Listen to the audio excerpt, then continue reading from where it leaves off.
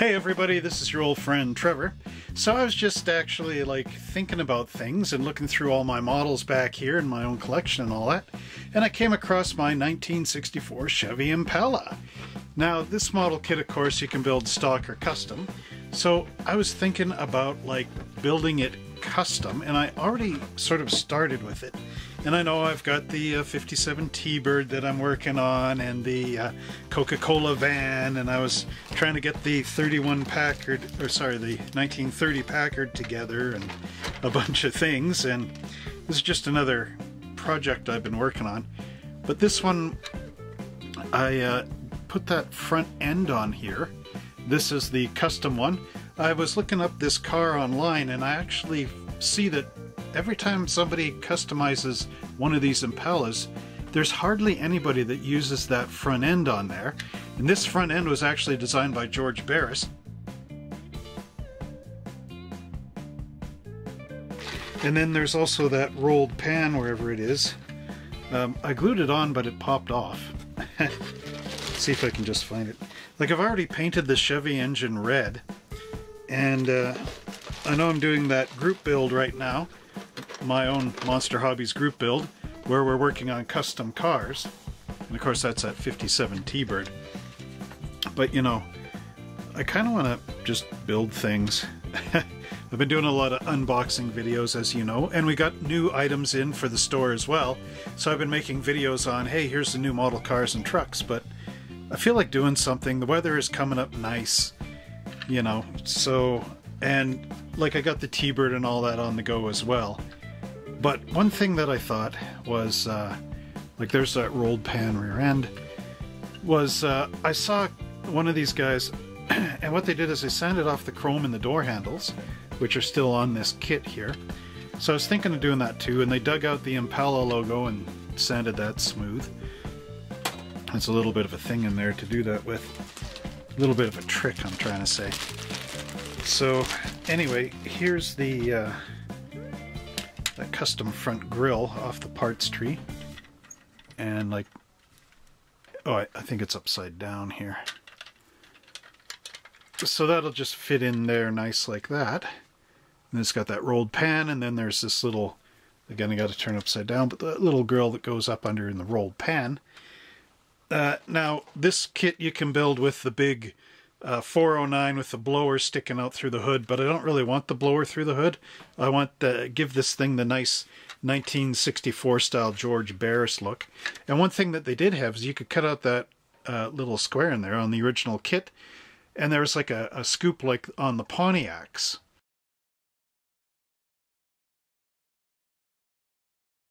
But I'm I don't have that scoop. It's not in production anymore. Also on the original of this kit, it had the working headlights. And I noticed something about that. If you actually look at the back end of the bumper, like this has got molded headlights in now. But it's sunken in just a little bit if you notice that. It's recessed. And I think if you had the right drill in here, you could drill right through, drill out the molded on headlamps, and uh, in your clear parts, if you have any, if you have any of these headlights in your clear parts, you could actually put them in from behind and then have the lighted effect again if you wanted to do it. But I don't know. And then there's some cool things here too, like the disc brake that's in there. You can prop this car up with the disc brake on it. So again, I think I'm just going to do a video of this. So um, yeah, it should be cool. All right, so here we got the body, and the first thing I'm going to do is take my good old number 16 hobby blade and try not to stick it in my thumb. but let's just get rid of the door handle, because that's like the first thing that usually goes. Hang on, there's a ridge in here. Is that supposed to be in there? No, I guess not. Okay. let's cut the door handle off. I've built a lot of these Impalas over the years, but I've never even used that custom front end, except for on this kit. So let's see. Huh. Seems like my blade might be a little dull. Okay. There we go. Now I'm officially committed. Committed to shaving the door handles and getting rid of that chrome trim. 100%. So here we go, Peter. This one's for you. The point of no return. Never to come back to that door handle. anyway. I think what Peter would do here is actually etch the door out and uh, build opening door jambs, but I don't know. I kind of want to go simple.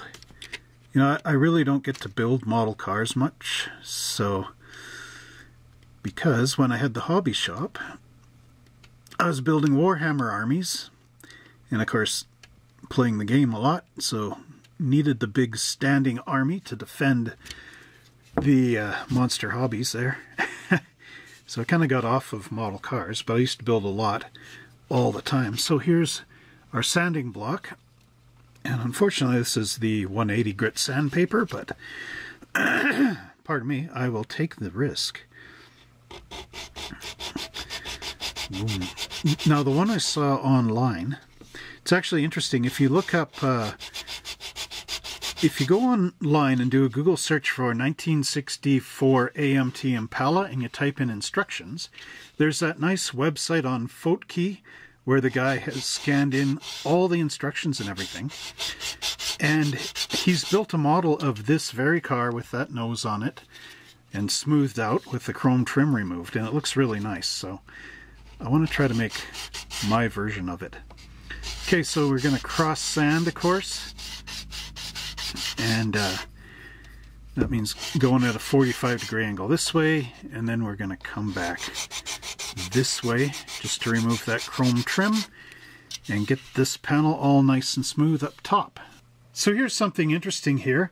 When I was taking my sanding block and sanding down this panel to get rid of this uh, piece of trim on here, the molding, it actually removed the engraved gas filler door out of here.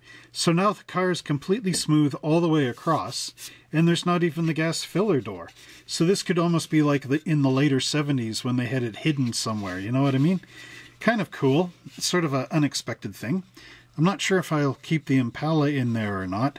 Would be interesting just to identify the car, but we'll see how it all goes.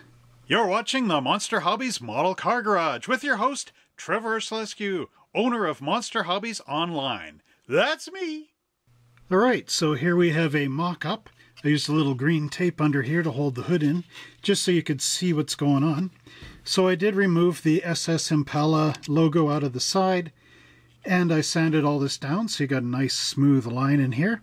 Got rid of the little V emblem. I got rid of the big Chevy latch on the back and the little door lock or trunk lock. I, um, I'm not sure if I'm going to get rid of the Chevrolet out of here or just keep it in place. Sorry, I got a bit of a cold over the last four days. There's a bit of a lump in here that I noticed. That's a mold, sort of a distortion. But one thing when I was cross sanding, there is another little sink mark on the fender on the other side, and that actually got sanded out.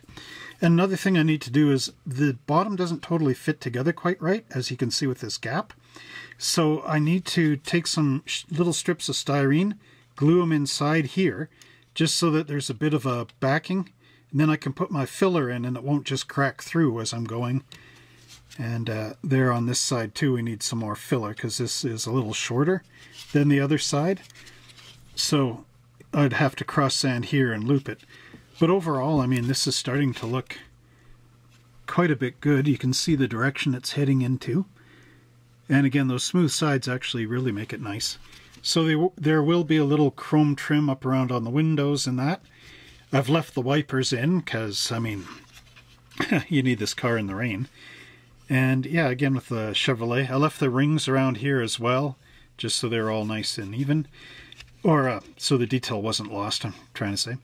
Yeah, getting that Chevy out of there would look nice because then when you got the rear end on there, it, it has a nice ring around it without being interrupted by the Chevy. But again, trying to sand in there. I've got a small half round file, but it gets a little touch and go, if you know what I mean. Overall, though, I mean, what do you think? It's not bad. Might leave that dent in there. I don't know. It's there's a bit of a molding around the the wheels, so trying to cross sand, I might knock that off on that edge. I don't really want to do that. Or am I just imagining that? Is there a ridge? No, there's a definite ridge. so anyway, yeah, there it is, looking quite sleek. So let me know in the comments down below, and I'm going to, you know, in between here, I'm going to take some fine sandpaper and try to get these deep scratches out of here. I know I shouldn't use that uh, 180 sand sandpaper. It's too rough. Should really use 220 as the uh, the roughest you're going to use, but you know, on that MDF, this thing's like an obliterator. So it just gets rid of that mold mold lines and uh, the side trim. It just like completely chews it off of there. So that's why I use this. But overall, you know, let me know what you think. Now here I have the AMT 64 Chevy, and this is what it looks like after I've scraped down all the door handles and corrected out this angle in here. As you can see, it is quite nice and long looking. It almost reminds me of Oldsmobile, maybe like a 63 or 4 Olds or something, once uh, all that trim and molding is gone. I also did take it out of these sides as well, so you can see it's nice and clean. There was the SS logo in there and the little uh, Chevy V8 Impala thing. Just to wrap up, I did leave the Chevy script in there, but I did clean this up a bit just to make this all nice and flat. So this is with the Cragar mag wheels in the lowrider position, although the car does still seem to sit up kind of high. There's the front grille, just the top portion. One thing I noticed about this, it almost looks like a 1970 Plymouth GTX in the front, just with the way this dips down and everything. So I wonder if Plymouth actually got the idea for this from this model or if it was just a styling evolution thing and nobody really knew any better. Now I did not put the filler pieces up in here yet, but that'll be for some time later. Now one thing I did notice is if I just take the undercarriage off. Now I'm having trouble with these wheels because the metal axle isn't long enough it should really go so long that it hits this cap inside almost, if you know what I mean. But these things are just so short and stubby.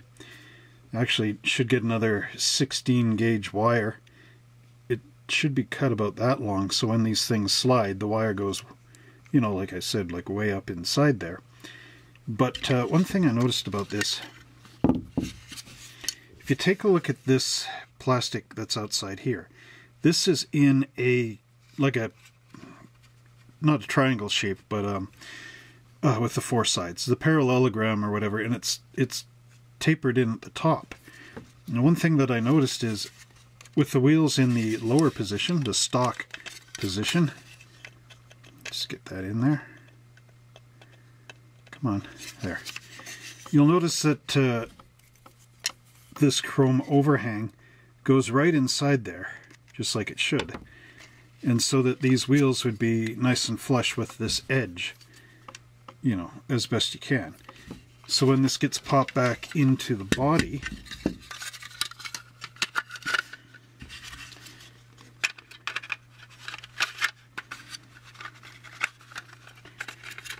Okay, come on. Huh.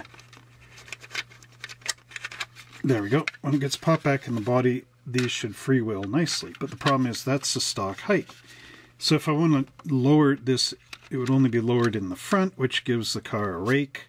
Which, I mean, there's no problem with that if you want it raked in the front. But if you want it to be fully flat, um, you know, even, the body line to be even and lowered, then you need to take this and move it down